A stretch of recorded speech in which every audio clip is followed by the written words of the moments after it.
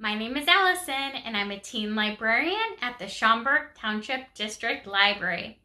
And it's time for another episode of Lunch and Listen, where I invite you to grab your lunch and sit back and relax while I share some young adult reading recommendations. In today's video, I'm highlighting a wide range of titles because this month's video features recent young adult books that I read and loved. So I'm basically calling them my new favorites. So let's go ahead and get started. We are going to start with a recent graphic novel that I read and loved. And it's called Odessa by Jonathan Hill. So when I found out that Odessa is a post-apocalyptic survival story, and since those are some of my favorite types of books, I knew I had to read it, and I was not disappointed. When the biggest earthquake anyone has ever seen tore the western states of America apart, it was only the beginning of Jenny's family problems.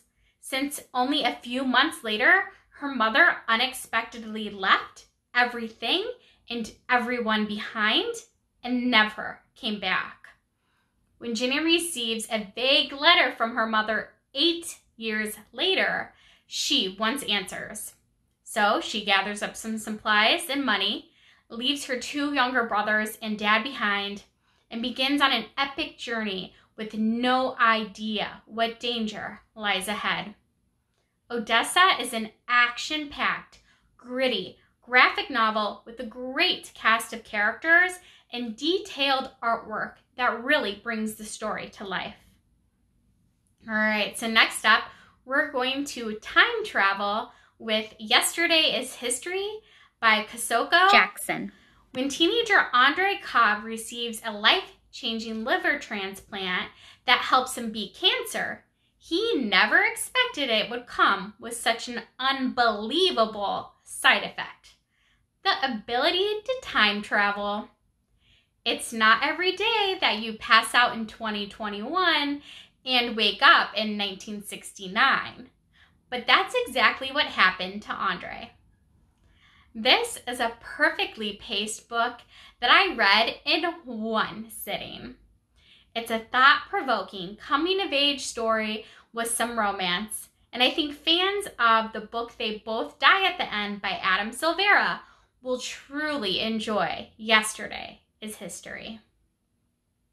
All right, so now I'm going to switch gears a little bit and we're going to talk about a real contemporary realistic title called Fat Chance Charlie Vega by Crystal Maldonado. Charlie Vega is a plus size Latina struggling with creating a healthy relationship with her body while dealing with her mother's toxic body shaming. And Charlie's best friend Amelia seems to have it all. And Charlie isn't always sure how to feel about that. So, when Charlie considers pursuing a relationship with a boy from school, she doesn't know what to think. Does he really like her, or is he just trying to get closer to Amelia? All right, to get those answers, you'll have to read the book. But that's okay because Charlie Vega is an incredibly realistic and real- relatable character. This book has drama, romance, friendships, and light and fun moments among the more serious ones. I was delighted to read Charlie Vega's journey, and I hope you read and enjoy her journey as well. All right, I have one more title, and with this last one, I'm gonna have to admit that I am only halfway done reading it, but I already know it's going to be a new favorite of mine, so I'm gonna go ahead and mention it in this video. I'm going to talk about The Project by Courtney Summers. You may recognize the author's name since she wrote the best selling title, Sadie, that features a true crime podcast and a teen trying to find out what happened to her sister. So if you like that book, you're probably going to like this new book of hers because The Project is a psychological thriller about two sisters, a tragic accident, and a cult. It's told in non-linear alternating point of views between the past and the present and the two sisters. And I can't wait to finish reading it as soon as I'm done with work today. All right, everyone, that's it for today's video. As always, the list of the books I discussed today, along with links to past Lunch and Listen videos, are in the description below. I hope you tune in again for my next Lunch and Listen video, which will air on Tuesday, May 11th. Thank you all so much again for watching. I hope you have a nice afternoon and please stay safe. Happy reading!